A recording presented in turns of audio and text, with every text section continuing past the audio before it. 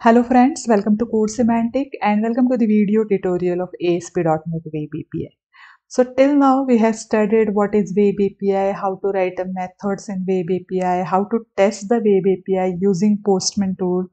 But in this video we are going to see how we can consume our Web API in any .NET application. And for that we are going to use HTTP client class. So let us see it in detail.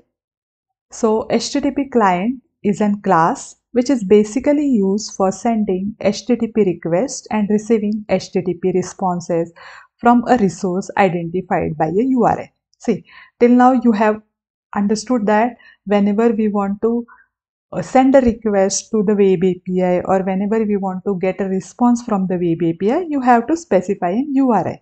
So whenever you are going to use an HTTP client class, there also you have to specify the URI. Through that identified URI, we can send HTTP request and we can receive the HTTP responses. So in short, you can say this class is an HTTP client for all the .NET application and it is basically used to consume the functionality exposed over HTTP. Now definitely functionality is nothing but what whatever methods are available in your web API. That is nothing but a functionality, which is definitely, if it is available on web API, then definitely it is exposed over an HTTP.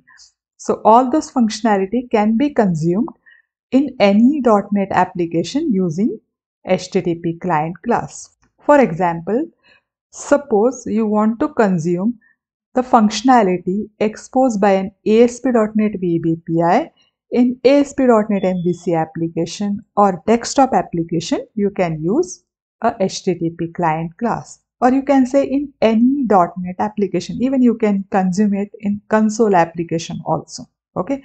So next we are going to see the important or most frequently used methods of an HTTP client class.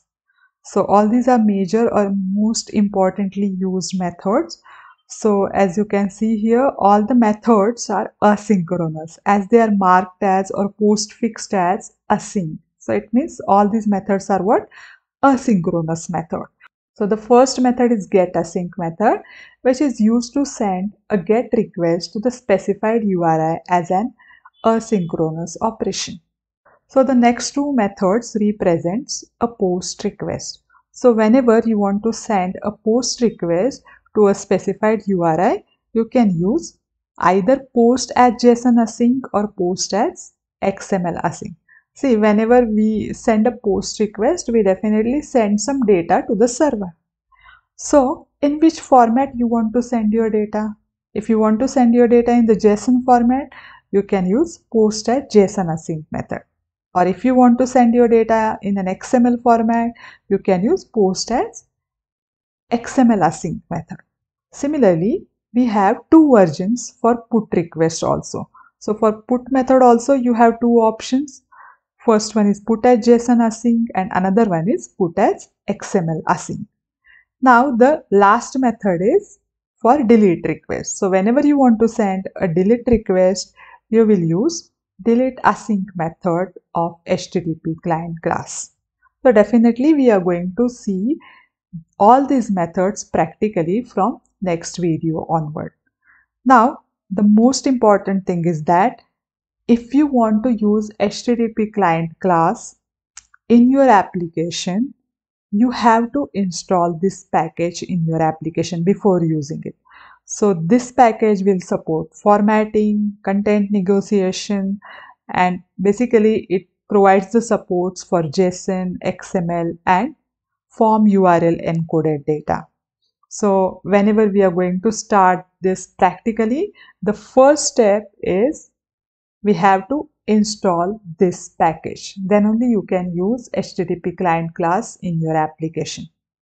So I hope you understood what is an HTTP client class and what are the important methods of it. So in the next video, we are going to see how to consume a GET request using an HTTP client class in a console application. So first of all, we'll see how to use it in a console application. And as we move ahead in the upcoming session, we are going to see how to consuming it in MVC application also. So if you have any doubts or any concern, definitely you can write it to the comment section. Thank you for watching.